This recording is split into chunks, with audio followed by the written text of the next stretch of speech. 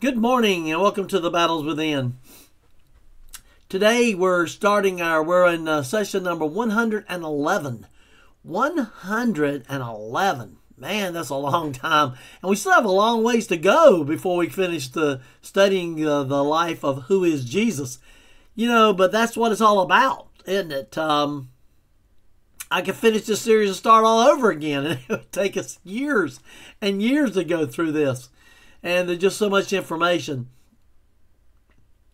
I hope to put all this information into a book when I'm done, and then you'll have a big giant uh, one of those almost like look like a a Bible, uh, I mean a family Bible with all this stuff in it, uh, outline format. But anyway, today if you turn in your Bibles to John chapter seven, John chapter seven, to be looking at verses 24, I mean 25 through 34 uh, let's go ahead and oh, let's let's have a word of prayer before we get started. Lord, I thank you so much for this opportunity we have that we can study your word.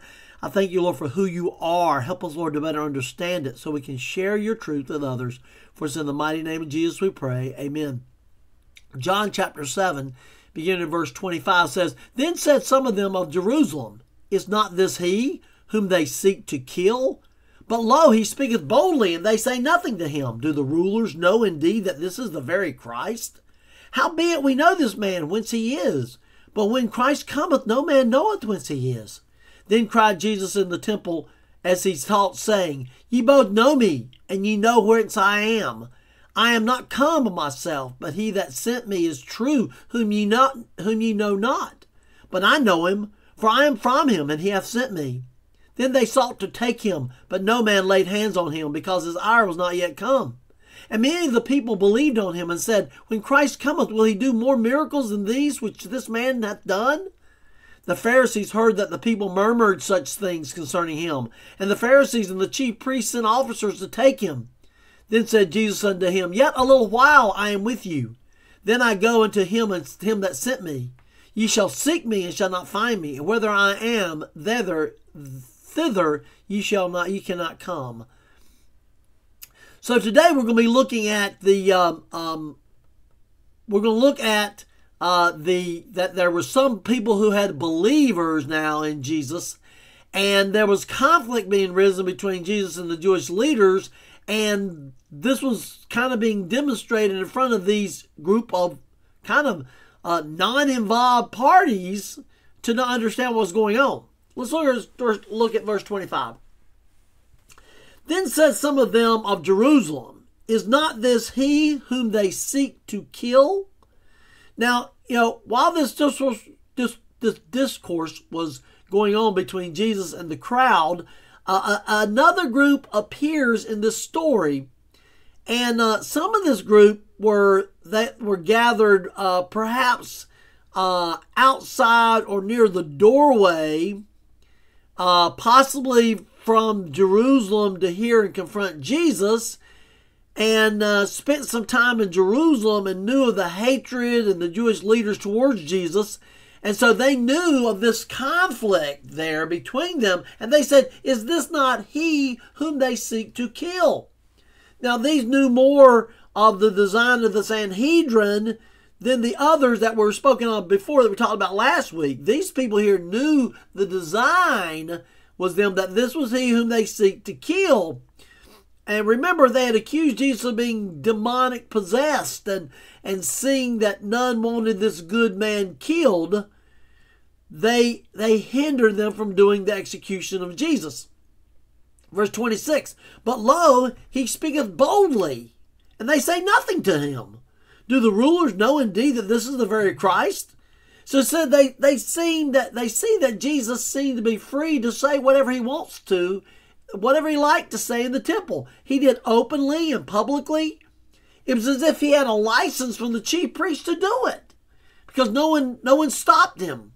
It said they say nothing to him. So the Jewish leaders were not openly contradicting him. It appears that they never shut down his speaking in the temple or in the streets. So these folks who spent much time in Jerusalem don't see where the Jewish religious leaders publicly forbid Jesus to speak. So Jesus continues his preaching ministry without their interference. So Jesus takes the liberty in charging the Jewish leaders with the intent to kill him.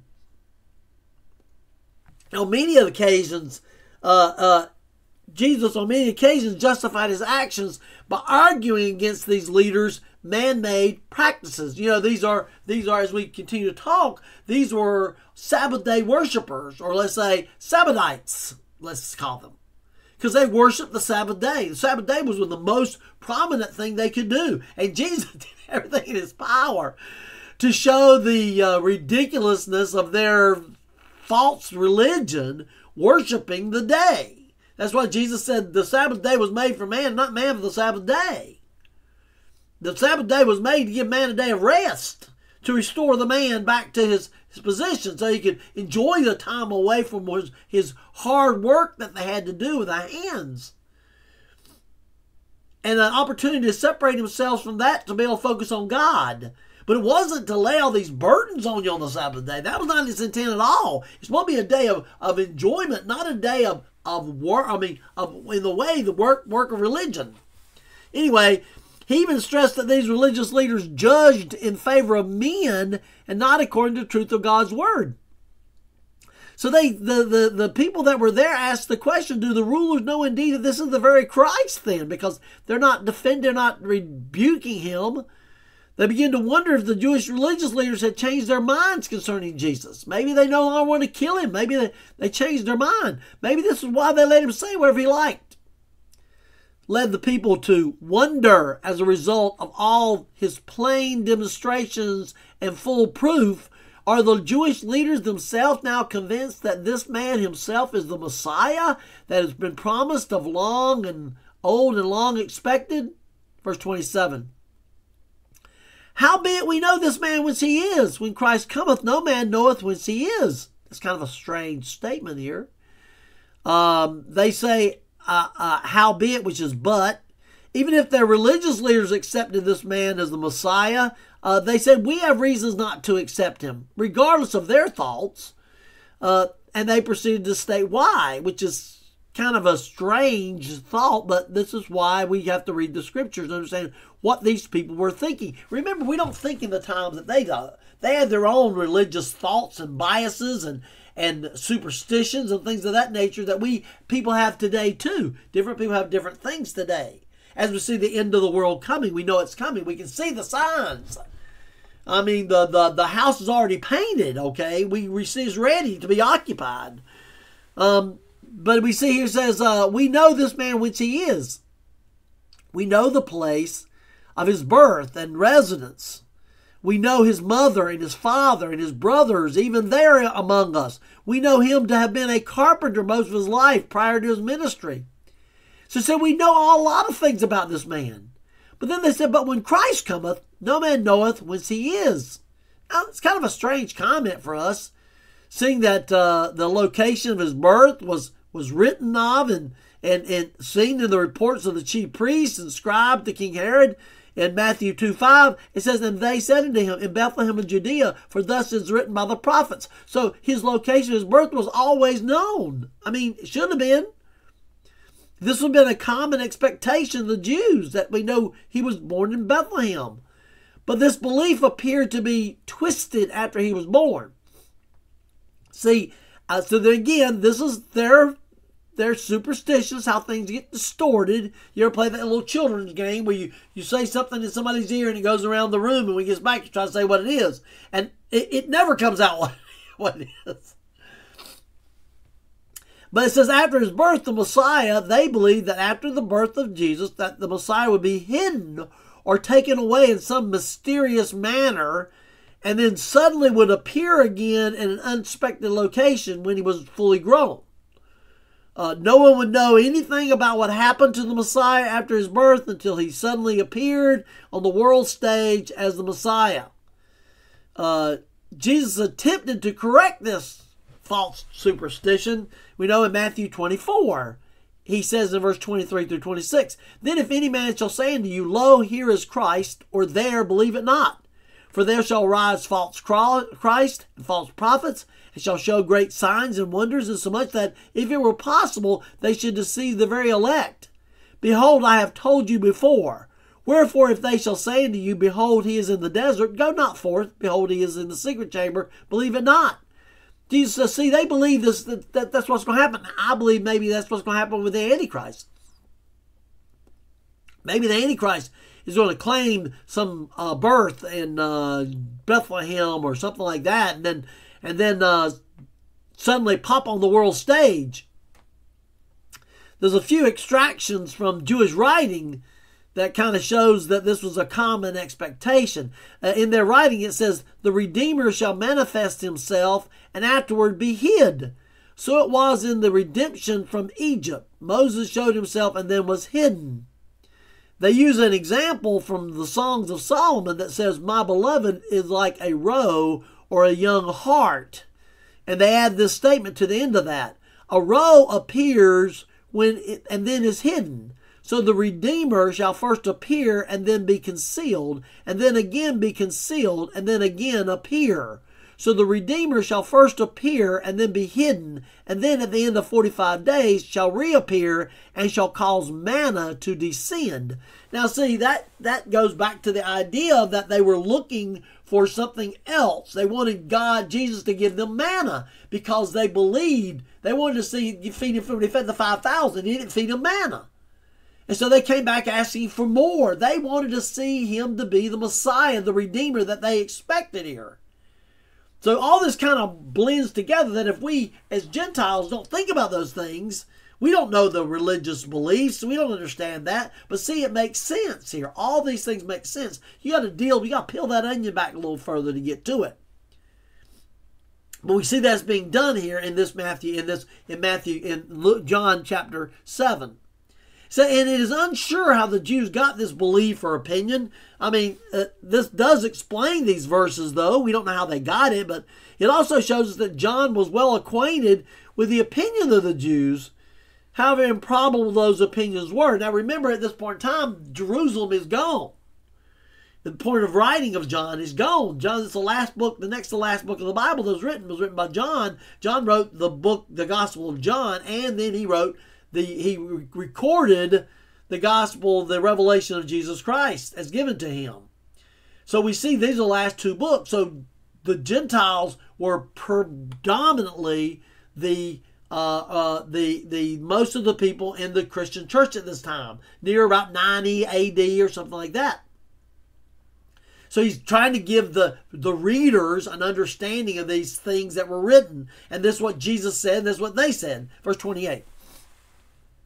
Then cried Jesus in the temple as he taught, saying, Ye both know me, and ye know whence I am, and I am not come of myself, but he that sent me is true, whom ye know not.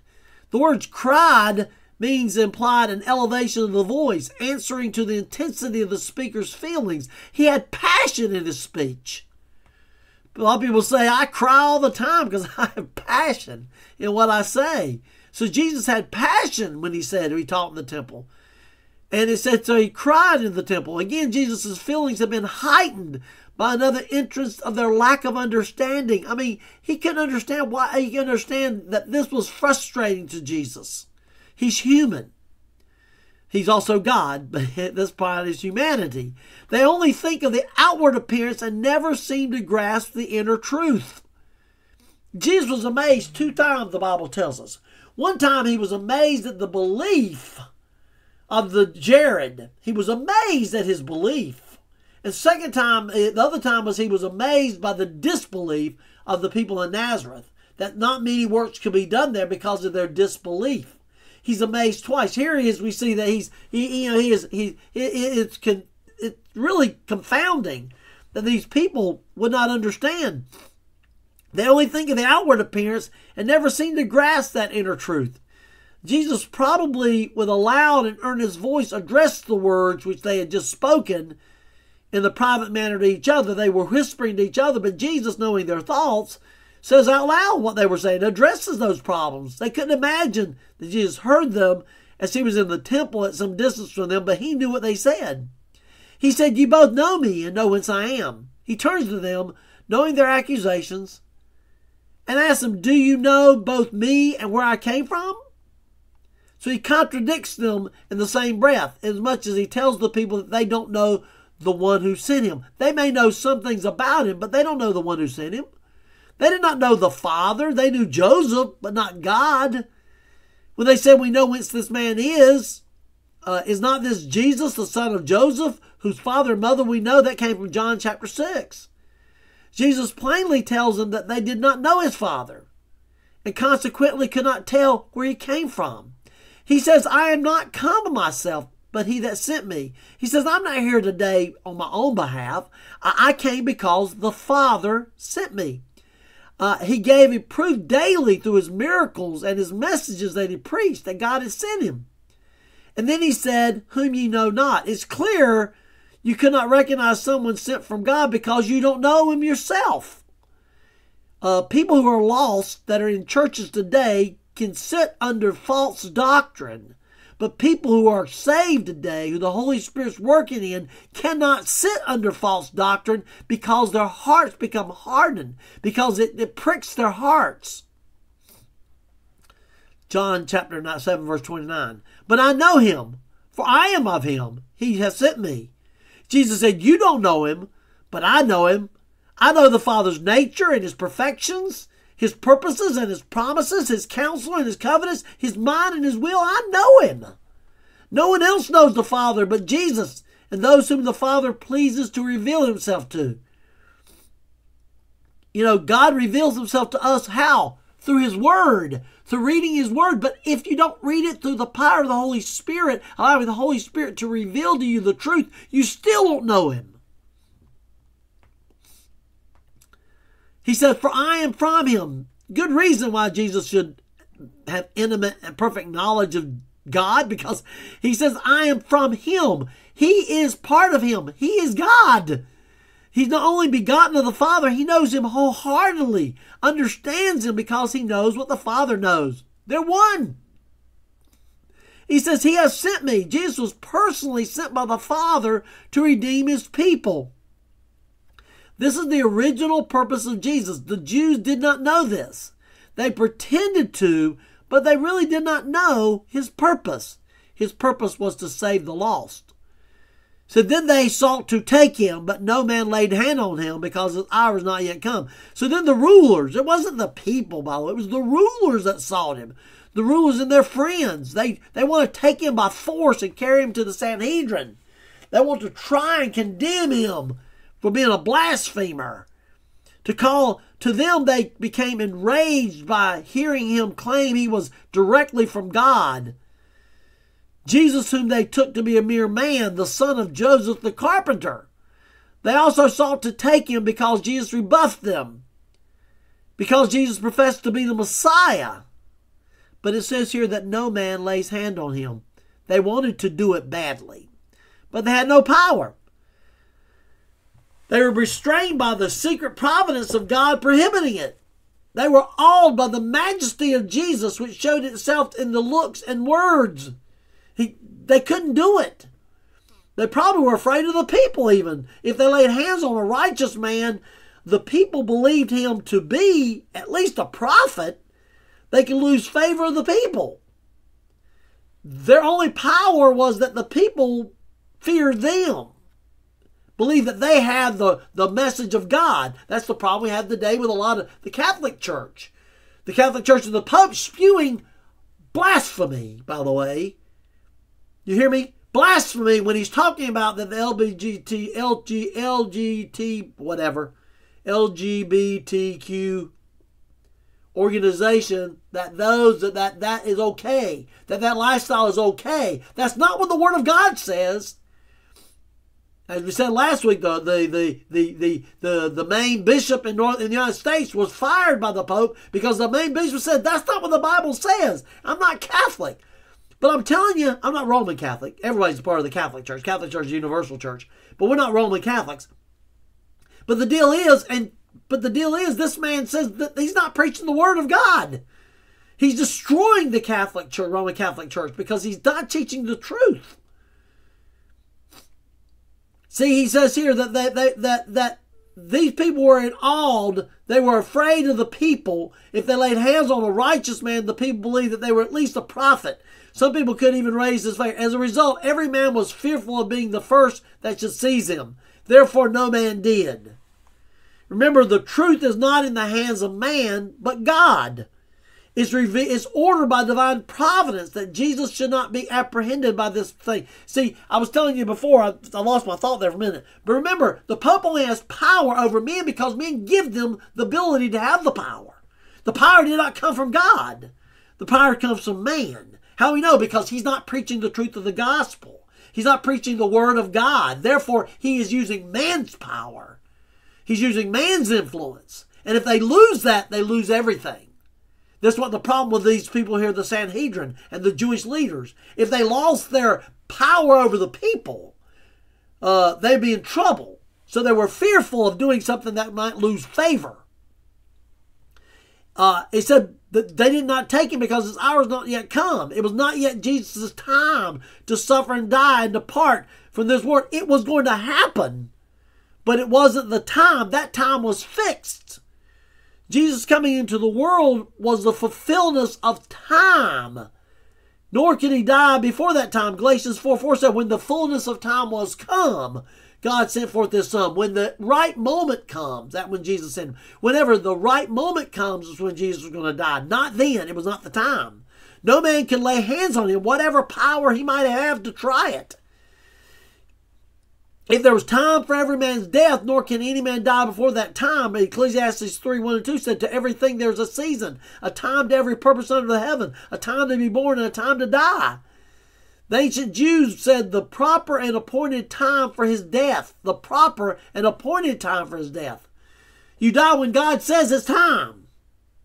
You don't die before God says it's time. Whether you believe that time is fixed and permanent or can be changed, I can see both ways. I believe the Bible says this appointed man wants to die and then the judgment. There is a time appointed. Can you do anything about it? I don't know. That's the debate because the Bible does say that if you good to your mom and dad, your days will be long upon the earth. Uh, Hezekiah was set to be dead, set to die, and God gave him more time. So he said, Your time's appointed, get your house in order. He prayed, cried to the wall, and God gave him more time. So therefore, the time can be extended. It also says the days can be shortened. So but there's a point in time. John 31, 731. And many of the people believed on him and said, When Christ cometh, will he do more miracles than this man which hath done? So while some of those among the crowd were displeased at Jesus' doctrines, we see others were convinced by his miracles to believe in him. If not the Messiah, certainly an extraordinary person.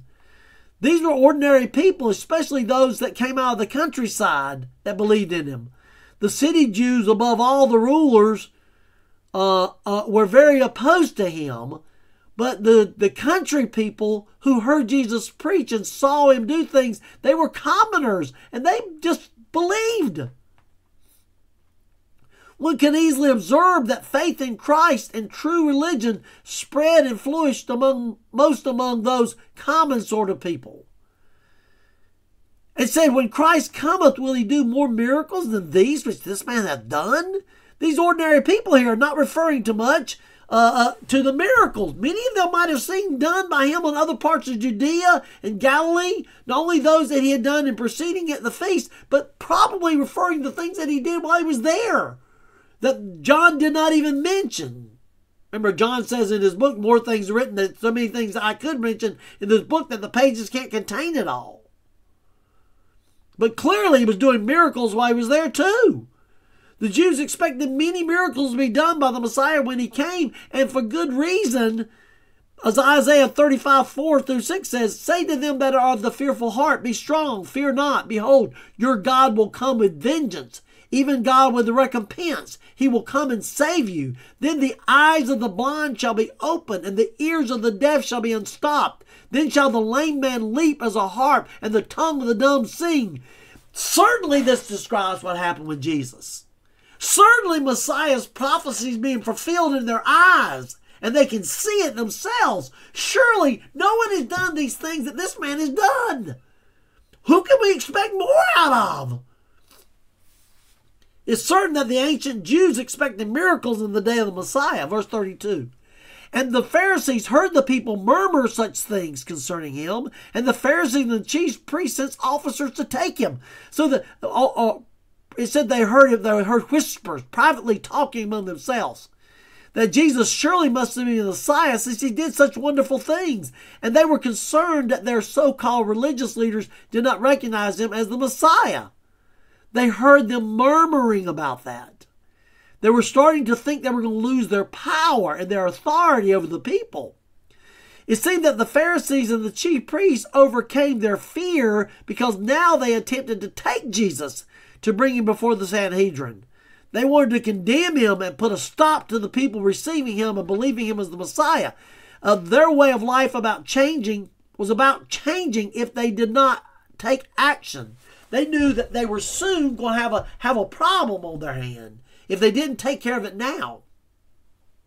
Fearing their principles and practices would be rejected and their persons and authority be brought into contempt because they were against the Messiah.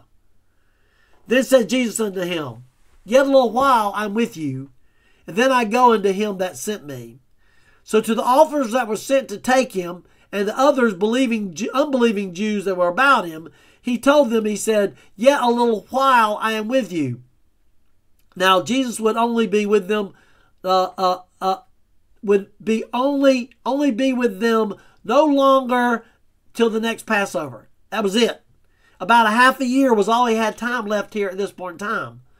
This statement by Jesus could have several purposes. One, it could partly stress to the people the importance of this opportunity with him while he was still available. Today is the day of salvation, folks.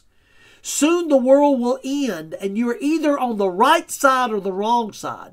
You're either accepted Him, you've either bowed your knee to Him in praise and glory, accepting Him as the Messiah, or you bow your knees to Him in shame, accept, praising Him as Messiah. You say, oh, aren't you both praising as Messiah? Yes, one of them has been redeemed, and one of them has been lost. The Bible tells us that every knee should bow, every tongue should confess, and later on it says every knee shall bow, and every knee shall I mean every knee shall bow and every tongue shall confess. See, the one of them is that we should because he deserves it. And we're praising him today. Jesus is the Messiah. Jesus is the Savior of the world. Jesus has died for the, on the cross for my sins and washed them all away, past, present, and future. It's not my righteousness, it's his righteousness. See, I profess Jesus Christ. I praise Jesus Christ. But those of you out there that do not accept Jesus Christ today, you will one day bow on bended knee and profess Him. You are Lord and Savior who we rejected. And God will cast you into ever burning torment and hell. And I don't want that for anybody. I'm no better than you. What I've done, you can do. More than you can do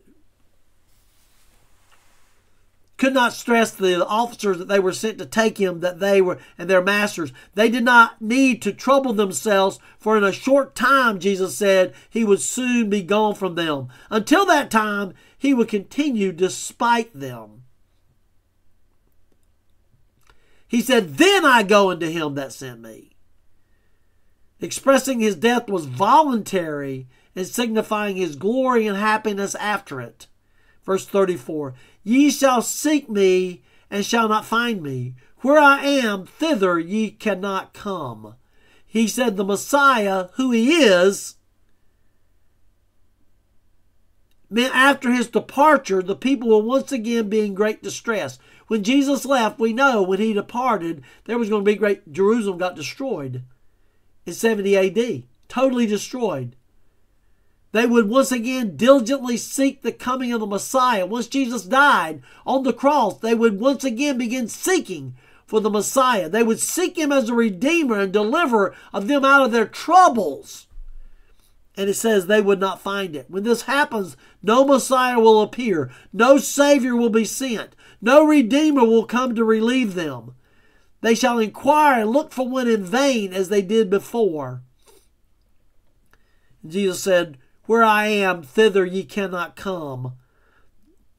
This whole clause is to be understood as future, meaning, where I shall be, you will not be able to come. That is, he, the Messiah, would be in heaven.